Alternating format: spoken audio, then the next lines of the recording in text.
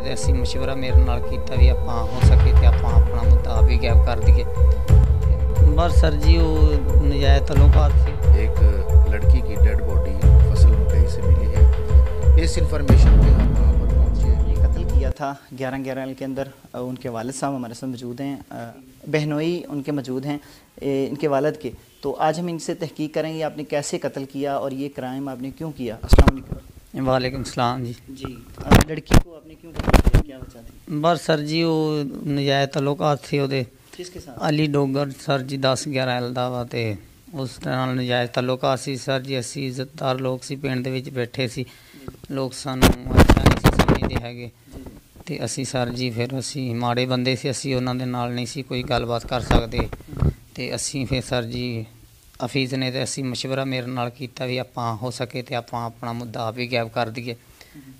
ਤੇ ਮੈਂ ਕਿਹਾ ਜੀ ਚਲੋ ਠੀਕ ਆ ਜਿਸ ਤਰ੍ਹਾਂ ਤੁਸੀਂ ਸਮਝ ਬਿਹਤਰ ਸਮਝਦੇ। ਅਸੀਂ ਸਰ ਜੀ ਫਿਰ ਉਹ ਨਸ਼ਾ ਦਿੱਤਾ ਸਾਦੀ ਚਾਏ ਮੈਂ ਚਾਏ ਮੈਂ चाय में नशा दिया सर सुबह तकरीबन साढ़े सात आठ आठ बजे जी नशा दे के सर जी वो बेहोश हो गई थी ਤੇ ਅਸੀਂ ਨਾਲ ਮੱਝਾਂ ਵਾਲਾ ਕਮਰਾ ਵਾ ਉੱਥੇ ਲਿਜਾ ਕੇ ਜੇ ਉਹਦਾ ਗਲਾ ਦਬਾ ਦਿੱਤਾ ਫੀ ਨੇ ਬਾਹਾਂ ਬੰਨ੍ਹ ਦਿੱਤੀਆਂ ਜੀ। ਫੀ ਨੇ ਉਹਦਾ ਗਲਾ ਦਬਾਈ ਉਸ ਤੋਂ ਬਾਅਦ ਜੀ ਜੋ ਵਕੂਆ ਹੋਇਆ ਸੀ, ਟਰਾਲੀ 'ਚ ਪਾ ਕੇ ਉਹਨੂੰ ਖੇਤ ਲੈ ਗਿਆ ਮੈਂ। ਜੀ ਵੀ ਮੇਰੇ ਮਗਰ ਪਹੁੰਚ ਗਿਆ ਫੀ ਸਾਹਿਬ। ਤੇ ਅਸੀਂ ਫਿਰ ਉਹਨੂੰ ਮਕਈ ਦੇ ਵਿੱਚ ਪਾ ਦਿੱਤਾ ਜੀ। ਜੋ ਸਾਡਾ ਪਲਾਨ ਸੀ ਵੀ ਇੱਕ ਅੱਜ ਦੀ ਦਿਹਾੜੀ ਰਹੇਗੀ ਇੱਥੇ ਤੇ ਕੱਲ ਪੱਠੇ ਲੈਣ ਮੈਂ ਹੀ ਜਾਂਦਾ ਸੀ ਉੱਥੋਂ ਜੀ ਤੇ ਕੱਲ ਰੌਲਾ ਪਾ ਦੇਂ ਤੂੰ ਤੇ ਫਿਰ ਦੂਸਰੇ ਦਿਨ ਜੀ ਮੈਂ ਰੌਲਾ ਪਾ ਦਿੱਤਾ ਜੀ ਉੱਥੇ।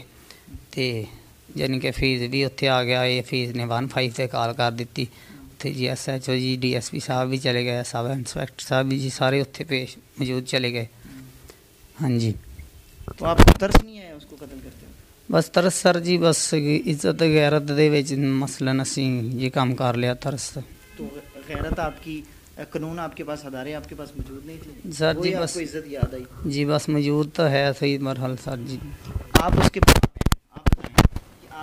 जब आपने कत्ल किया आपको तरस नहीं आया सर तरस तो है लेकिन जब हम घर से बाहर निकलते थे सर लोग गंदी गंदी बातें कहते थे सर। उसके नजायज तल्लुक सर काफ़ी देर से थे दो- तीन जगह मैंने उसका रिश्ता किया था सर। वो कहती थी मैंने वहाँ नहीं मैंने बस इधर ही करना है सर। अली के साथ ही सर। हम गरीब आदमी हैं सर हम उनके साथ नहीं लड़ सकते वो साहब भी जानते हैं आप भी जानते हैं उनको वो कैसे लोग हैं?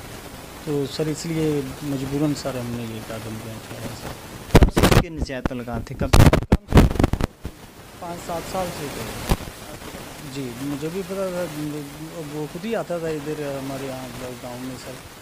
तो मैं उसको रोक नहीं सकता था सर। मेरा अगर रोकता था वो मुझे भी डराता धमकाता था। स्टार्ट हुआ वकुआ फ़ोन पे हुआ? पता नहीं सर फ़ोन मेरे पास ही था सर कि रात को जब मैं काम करता था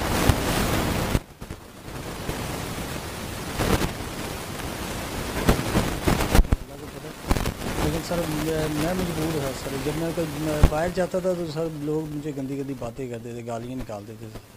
आप बगैरत हो गए हो आपको गैरत नहीं आती है आपकी जवान बेटी वो उसके साथ है आप कुछ कर नहीं सकते हो सर। मैं उसका तो कुछ नहीं कर सकता था सर। तो इसलिए सर मैंने अपनी बेटी बेटी का गला दबाया उसको कत्ल किया। आपको तरस नहीं आया? सर तरस तो आया लेकिन इज़्ज़त कितनी बड़ी चीज़ है सर। आपके पास कानून नहीं मौजूद था? वो बड़े लोग हैं सर। मैं माड़ा आदमी हूँ सर। स्प्रे करता हूँ फ़सलों को। आपकी बात ना सुनते तो फिर आप से बस यही गलती है सर।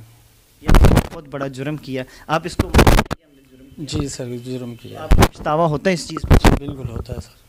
अस्सलाम वालेकुम नाजरीन। आज हम ज़िला साहिवाल तहसील चीचा वतनी थाना सदर की हदूद में मौजूद हैं।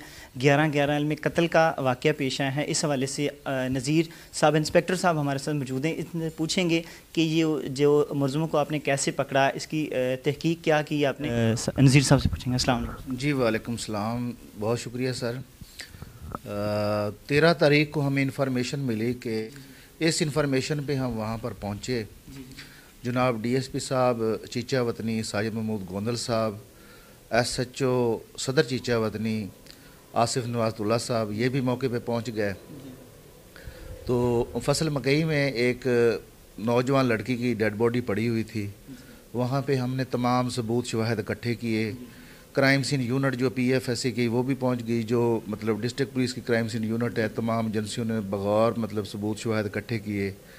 जो वहाँ पे मुकामी लोग थे, उनके हमने स्टेटमेंट लिए, उनसे इंटेरोगेशन की, इसके हालात वगैरह चेक किए और उसको पोस्टमार्टम के लिए हस्पताल शिफ्ट किया। उसमें जो मेजर ब्रेक थ्रू है, जो रिकवरी है डेड बॉडी की, उसके बारे में जो इसका बहनोई है, वसीम, जो उन्होंने स्टोरी हमें मतलब बताई, वो बड़ी मतलब डाउटफुल थी और उसमें मतलब उसने कहा कि यहाँ पे मतलब इस तरह गीदड़ आया, उसके मुँह में जूता था तो जो वो गीदड़ के पीछे मैं दौड़ा तो मैंने देखा कि डेड बॉडी पड़ी है। तो इस इंफॉर्मेशन पे हमें थोड़ा सा डाउट हुआ हमने मतलब वो सारी चीज़ों को हर एंगल से देखा हर लोगों से मतलब दरियाफ्त की जो मतलब उनका सी डी डेटा था वो हमने कलेक्ट किया। उससे भी हमने मतलब मकतूला का उसके वालद का उनके जो रिश्तेदार थे उनकी मतलब ना सीडीआर चेक की। तो हमें इन पे डाउट गुजरा तो हमने इनको मतलब बिठा के इंटेरोगेट किया।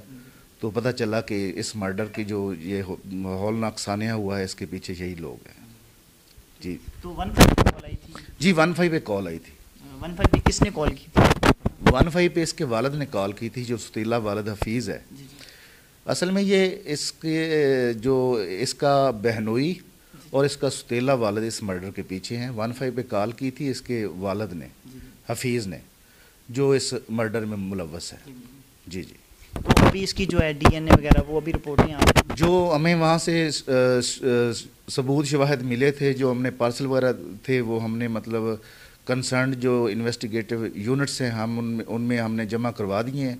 उनकी रिपोर्ट्स भी होंगी इनको मतलब पेश करके इनका रिमांड हासिल करेंगे और उन जो सबूत शवाहद हैं उनकी रोशनी में इनको मतलब मुकदमे को मेरिट पर यकसू करेंगे इन जी नाजरीन जैसे कि सब इंस्पेक्टर साहब ने हमें बताया इस वाक़ का जो सारा तहकीक थी, वो हमें बताई है। हमें चाहिए कि इन जो क्राइम से हमें बचना चाहिए, ऐसे सानिया से बचना चाहिए। हमारे पास कानून मौजूद हैं, हमारे पास अदारे मौजूद हैं। हमें उनकी तरफ़ रजू करना चाहिए। तो इन चीज़ों से हमें ग्रेज़ करना चाहिए। हमारे माशरे के अंदर, हमारे नौजवानों के अंदर ये शौर पैदा करना चाहिए कि हमारे अदारे, हमारे कानून सब कुछ मौजूद है कि ऐसे जो है हम क्राइम से बचें। जहाँ पुलिस चीचा वतनी की बहुत अच्छी कारकर्दगी, माशाल्लाह, कि उन्होंने कम टाइम के अंदर और इन मुलजमों को इनकी तहकीक की, तफ्शीश की और अलहमदिल्ला कम टाइम के अंदर इनको पकड़ा। बहुत अच्छी इनकी कारकर्दगी है। अल्लाह इनको और मज़ीद तरक्की